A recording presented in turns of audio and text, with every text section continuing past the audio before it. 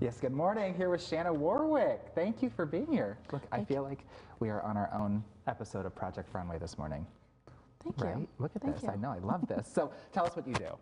So I'm a fashion designer and all-around producer of things made with fabric and other, you know, Yeah. things that I forage from the woods. And you have uh, your own company, I do, yeah. My brand is Black Boots. Black Boots. So it's styles and things to wear with your favorite black boots. and I wore a black turtleneck just Good to job, match you today because I understood the assignment. So there we go. you. So thank you. We're going to really get into it over the next hour. So again, we're going to get into how you came here. You just got back from LA, so I that's did. something to talk about. That's Absolutely. really impressive. So again, very excited that you're here. Stick with us. It's our mornings and cornings, but we are in Elmira. Right, back here with Shannon Warwick again. Thank you so much for joining us. Thank you for having me. So I want to know before we get into each individual piece, because it's crazy the the range that you have. I want to know how you got into this in the first place. Yeah, so in college, I accidentally took a fibers class Okay. and started dyeing the silks. So you'll see some of the dye work in the pieces that is still things that I learned in college back That's in the day. college stuff. Okay. Yeah. Nice. And then from there, how'd you end up here? Yeah, then from there, so I ended up, I went back to school and found that um, I was just kind of getting a little bit bored with some of the dye work and I was really trying to find some of the textures. Yeah. And then I developed, and then I found felting, which Felting. is adding wool to the silk that I was already dyeing. I, I can feel that. Yes, I know I'm. I'm bad at my textures, but I can definitely feel that. And then how did you end up here in um, the Southern Tier? Because you're from Philly originally. Yeah, yep, came up here from Philly. So I came up here for a wedding, fell in love with the area because It's it's, gorgeous here. Yeah. Yeah. I totally agree with that. Accidentally bought a house. Accidentally. and then As you kept- do. Kept the business yeah, business And brought the business with me. Okay, yeah. well, good. Well, I can't wait to get into each every individual piece because you have a meaning behind each one. I know you do. I'm so excited. so again, stick with us because through seven, we're going to have more with uh, Shannon Warwick coming up. All right, happy Friday, everyone. We're back here with Shannon Warwick. Thank you again. I'm so excited. This is really cool. I want to start going through some of these pieces, and I want to ask you how you built your brand because it's called, what is it called? Black boots. Black Boots, and Yep. the website is, blckbts.com. So it's black boots with no vowels. Oh. Because you have to be a little fancy with the spelling of things these days. Yes, you do. I know. We got to be fancy, so uh, we'll have that on our on our website too, so you can people can find that. Um, but I kind of want. I'm interested at first how you started the brand and what was like the first piece that you make, or is there like a staple piece? Talk to me about that. Sure. Yeah. Yeah, so I started mostly with doing just scarves. So Okay. Show us some of that. the Let's pieces pull that some are of this in stuff out. here. Okay. Now this is all you said the felt and the Yep. silk. Yep, so that's silk chiffon and felted wool. So you can definitely feel the texture, but you'll see some of um, some of the colors and the way that I've like laid the wool out. Yeah. So I'm literally laying out individual pieces of fibers onto the fabric. Okay. So if you look on the back, you kind of get where the fibers have gone through the weave of that silk. Mm, yeah. Now I see that. Yeah, and you get some of that That's really cool. texture. But everything started flat for me before I learned how to pattern Okay. do like more three dimensional. Okay, neat. So you started with the scarves. That's kind of where it all kind of began, and then you branched Mm-hmm. Yeah. off into the dresses and everything. Yeah, then once I learned, kind of wrapped my head around how how to pattern and how to design these pieces, then I understood how I could get things. I feel like this keeps you Front to warm too. Yeah, natural that. fabrics We doesn't like make that. you sweat. It's like Fancy. Yes, Yeah, yes. we like that. Okay. and then again, I just mentioned earlier that you just got back from LA, so I want to talk to you about that coming up because that's pretty cool. we got kind some of exciting news. I know. All right. Well, we're going to get more into the dresses coming up, so stay with us because more Shannon Warwick after this.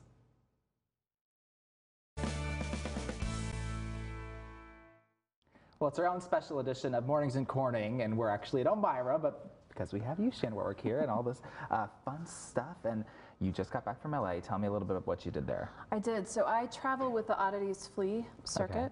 So they hit different cities, and last week was LA, which was the first time I was there. So very exciting. Exactly. That's so Yeah. fun. And so show us something else that you brought here. You were going to show, what is this piece here? This orange. What is this?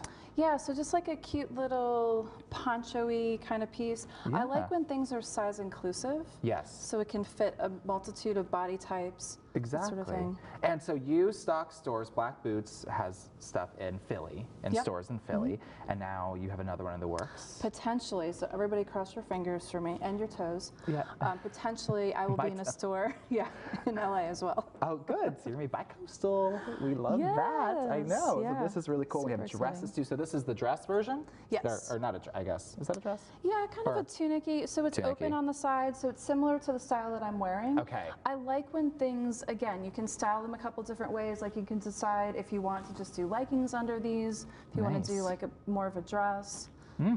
But I again, see, I see fit- Chelsea in this. Mm. She's gonna look yeah, good in that. Yeah. colors. Mhm. All right. Well, again, stick with us because the whole next half hour we have more with Shannon Warwick coming up, and we have even some smaller pieces, some home pieces that you make, and it's all individually made. So there's always a meaning behind it. So stay with us. Talk about everything this morning, aren't we? We I- are. Yeah, I know, and the moons and everything. So I want to talk about main center stage here, not us, but this this woman right here. Talk to me about uh, these pieces. Yep, so the top is a bolero, and I like when pieces kind of move and flow with you. So this, similar to the one I'm wearing, when you're walking around, it kind of feels like you're floating through. Yes. It gives a nice silhouette, a nice shape, with this nice curve across the front. Yeah, little wings. Yeah, you know. love that. and then uh, what's what's this down here? this is puffy. Yeah, so then the skirt. This was, um, I, I created this skirt for a, a store in New York. Oh, And I individually um, sculpted each of the pieces of tulle at the bottom, and then the same kind of felted fabrics in between. in there. So So each volume. so each piece you don't make a, a bunch of the same thing. Each piece is pretty much one of a kind. kind yeah, of, pretty one of a kind, limited. I'll do some of the. Um, so this is the one that I'm wearing is my lunacy caftan, Okay. Ode to the moon, of Okay. Oh, course. to, okay. Oh, to the moon. So I'll do. This is kind of one of my signature pieces, and I'll do, you know, a limited run of, of of this particular style. Yeah. of that style, and Mm-hmm. then uh, you people come to you and say what they want, and you create that, or how do you gain your inspiration? Exactly. A couple years ago, I had the opportunity to create a skirt like this for a local, but all in white with Ooh. white feathers, if you can imagine. It was like Oh. beyond. Yeah. That's yeah. cool. Okay, cool. So I want to talk to you about where you gain your inspiration uh, coming up next. So again, we still have so much more to cover. Stay with us. We have more with Shannon Warwick coming up.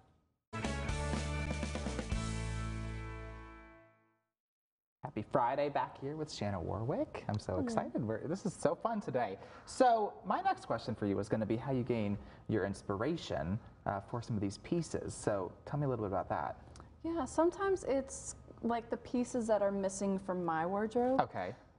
like the the one that you have on. It's I, a collar. I forgot to mention, yes, here I am just up here with this collar on and asking you questions. But yes, I do have a nice, a beautiful collar on. So um, another way you were saying was that what's on trend right now. Yeah. So yeah.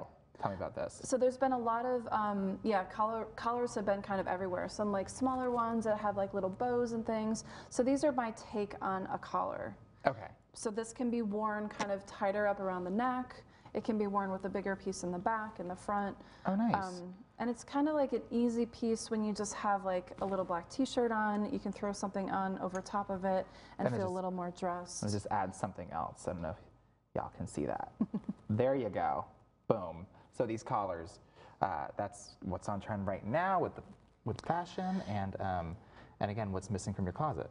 Yeah, what's missing from my closet, and these are created the same way. So the same fabric up here, but the design in the bottom is just wool on wool. So it's like similar to like a felted or boiled wool coat, just laid out a little bit differently. Perfect. Well, cool. Well, that's awesome. That's something new that I have not seen. So there you go. Always setting setting trends there. And um, you also do some interesting things with the dyes, which we're going to talk about coming up. So again, you won't want to miss that. Oh no. Oh, that was just a. oh, that was my that was my uh, hanger. So we're good. That's how the dyes. So stay with us. We have more coming up in just a bit. Yes, back here. Thank you, Nick. I, I want to talk about the dye that you have because there's something special about this dye, and you were showing me something else um, that was This dyed. too. Oh, let's bring that Yeah. out. Let's show them Sure. what that is. So tell me what these are dyed with because you would never be able to guess. Yeah, so during COVID, Yeah. a lot of time at home. So I started playing with um, things that were all around me, plants. And this particular piece is dyed with goldenrod, which is kind of crazy that you get that much dye. So vibrant. Yeah. So vibrant. This is one I just had on, so that Yeah. was crazy. Goldenrod. And what about this one? Do you have any guesses? I, I, I don't. You tell me. what is this one? yeah, so I this, don't, I don't- is it a plant? it is from a plant. Yeah. Yeah. So this is actually dyed from avocado pits. That's insane. Yeah, which is crazy. Um, so avocado pits in they had dye in them. yeah, yeah. If you dye in an iron cauldron, the iron is what um, allows the fabric to accept the dye. So you get this dark, dark purple color. If I That's what this is? Yeah. So some, and then the same wool is throughout the piece. Perfect. Well, cool. Yeah. That's amazing. That's incredible too. Yeah. So again, uh, Shannah's going to be actually around here uh, coming up this weekend. So we have that coming up next. We'll let you know where. Stay with us. Well, Shanna, tell everyone where you're going to be this weekend, where they can find all this good stuff. I know. I will be at Tag Sylvania. I'll be outside in their vending area on Saturday night. And then because you do some of those vending areas and farmers markets, you do smaller pieces as well. So tell us a little bit about this. Yeah, so I started making some smaller pieces using the same fabrics. This is one of my little moons. Yeah, a little broomstick over here. Yeah, little frame broomstick. Yeah, these It's are fun. so cute. I get to forage in the woods, like I get to play with sticks, literally, Yeah. to make the pieces. And sometimes we just need cute things in our life. Yes, exactly. I totally Yes. agree with that. So that's, and then also you can find any of this stuff on your website, yes. which is blackboots.com, but mm-hmm. spell it the way you spell it. I spell it B L C K B T S, black Okay. boots, no vowels. No vowels. I know these are so cute. And then we also have a little, a little jar down here. What is this?